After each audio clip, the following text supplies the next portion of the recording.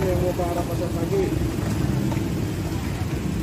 Sunaria 32, pengemudi mobil losbak nyaris tewas usai kendaraannya tertimpa pohon besar yang tumbang pada Rabu, tanggal 2 Maret tahun Abang yang bawa supir tadi, 2022. Bang? Peristiwa Oh. itu terjadi di Jalan Perniagaan, tepatnya mengarah ke Pasar Pagi Asemek, Kelurahan Roa Malaka, Tambora, Jakarta Barat. Pria berkaos hitam itu mengaku awalnya ia melintas bersama kernetnya menuju Jalan Tongkil, Lodan, Jakarta Utara. Sesampai di lokasi, ada angin kencang dan dalam hitungan detik pohon besar tumbang menimpa kepala mobilnya. Tadi kan eh, pohon ambruk nih keadaan mobil lagi jalan Lagi jalan. lagi jalan tadi mau ke mana bang Dari jembatan 5 ke Tongkol. oh gitu Itu bawa apa bang? Bawa besi, Pak. Bawa besi. Nah abang ketika ketimpa itu eh, awalnya memang lagi lewat aja ya Lagi berarti? ya? jalan. Bukan lagi diam ya? Enggak. Nah, itu ketika tertimpa langsung menghindar atau gimana bang? Enggak langsung aja, langsung turun. Langsung turun aja Iya. gitu. Ada yang luka nggak bang? luka. Tangan doang. Di Abang sendiri. Enggak ada, aman. aman ya bang Berarti abang tadi sendiri? berapa orang Berdua. berdua Oh, kenaiknya. Tapi ini setelah di, diobati nggak apa-apa berarti nih. Aman. Cuma jempol aja ya. Ya.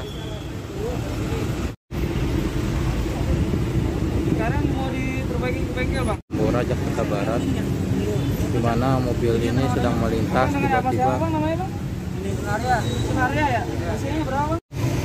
Bang?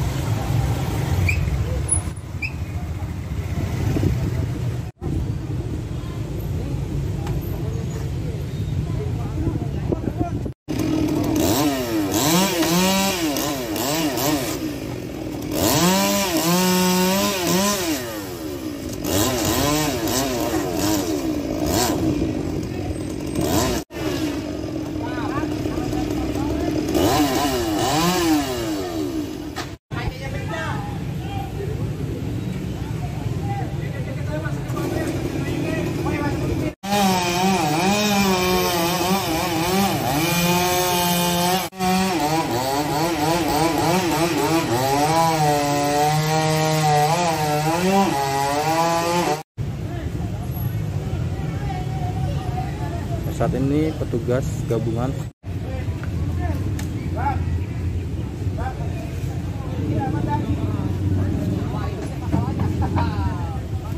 Eh, tiang listrik ini juga sampai terjatuh